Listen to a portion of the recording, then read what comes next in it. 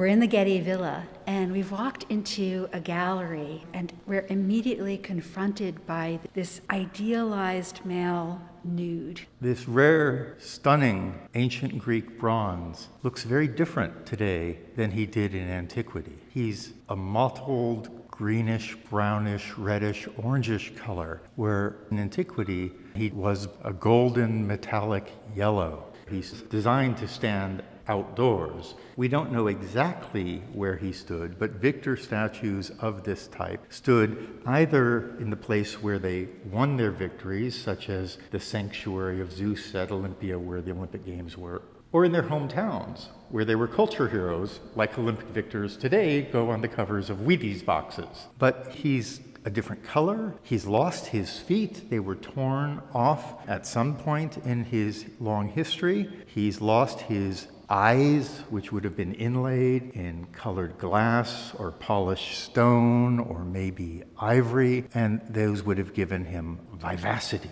These are the result of the fact that he spent years, we're not sure how long, under the water. He was found by fishermen in the Adriatic Sea in the 1960s, and he was covered with barnacles and other marine growth, which have all been removed by conservators, and that's why he has this mottled skin. He does preserve metallic inserts. His nipples and lips were covered in copper, so he would have had this golden yellow, brownish skin and bright red nipples and lips, inlaid colored eyes, and his hair and his wreath would have probably been patinated, a darker color. The wreath maybe was gilded, and it's from the wreath, only fragments of which survive, but we can identify as an olive wreath, makes us think he was a victor at the Games at Olympia. And here, either he's just put it on his head, or maybe he's reaching for it to take it off, because this is something victors did. They dedicated their victories to the gods. This was a form of humility. Although he doesn't look very humble, he still has to be humble to the gods. Although bronze sculptures of athletes are very rare today, they were very common in antiquity. We have literary descriptions from ancient authors of hundreds, if not thousands of them. We have statue bases with the footprints of bronze statues that have been taken and over the years melted down to reuse. So they were turned into shields and spears and buckets and hinges. And so the ones that we have today, paradoxically, we have because of disaster, earthquake, landslide, shipwreck. So this immediately raises the question why he was in transit. So at some point, his location, his context, his reason for being changed.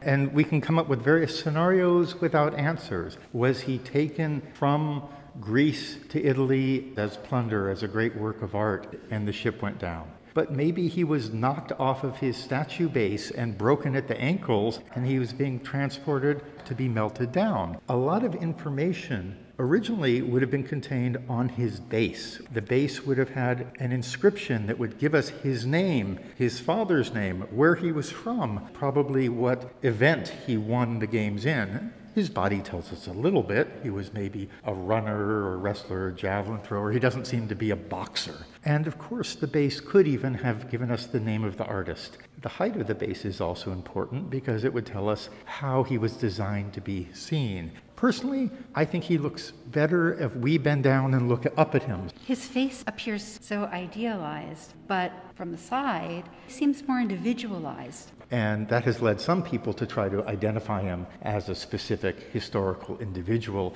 which is in some ways very optimistic.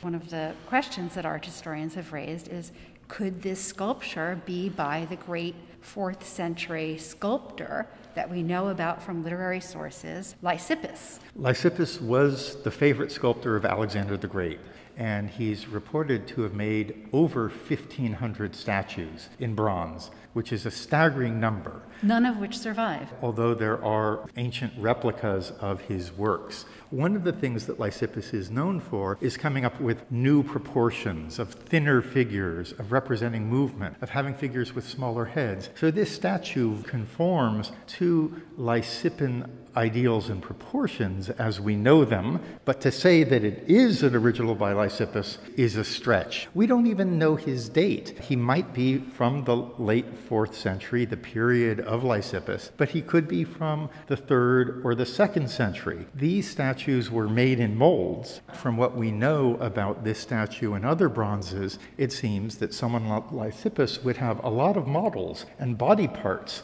in different positions. That's how he and his workshop could produce 1,500 statues. So let's talk about his lifelikeness, his sense of movement. I think there are a couple of factors that lead to that. One is the subtle an accurate understanding and depiction of anatomy, not only the soft bulge of, say, his abdomen or the firmness of his biceps, but the way these muscles seem to respond to one another as the body shows movement, but also as they respond to gravity. This is very much an illusion. Our bodies are chaotic, they're imperfect, and what Greek sculptors did is they filtered that chaos and they selected certain attributes and highlighted them and they suppressed others. He's shown at this flower of youth, this period the Greeks praised. He's very toned. We can see traces in his hands of tendons and veins under the skin. And these elements, when you catch one or two,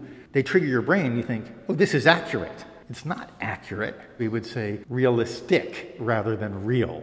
And there's this smooth transition between the parts of his body. We have to remember the Greeks did their athletic events in the nude. The gymnasium comes from the Greek word gumnos, meaning nude. And so they saw a lot more nude bodies. And so they would have done a lot simply by observation. So let's talk about his left hand. The left hand may have held a palm branch. It's a very common attribute of victors, but this hand could have also, in the sculptor's workshop, been applied to a statue of a young warrior and could have held a sword. This is how flexible and pragmatic the sculptor's workshops were. To me, this epitomizes this Greek love of the male nude.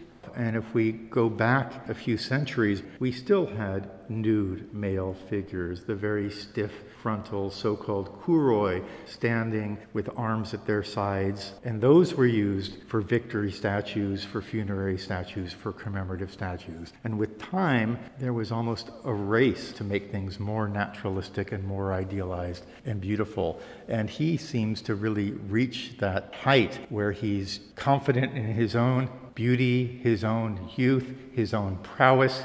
He's just won the games. He has his olive crown, and he's submitting to the gods, but to no one else.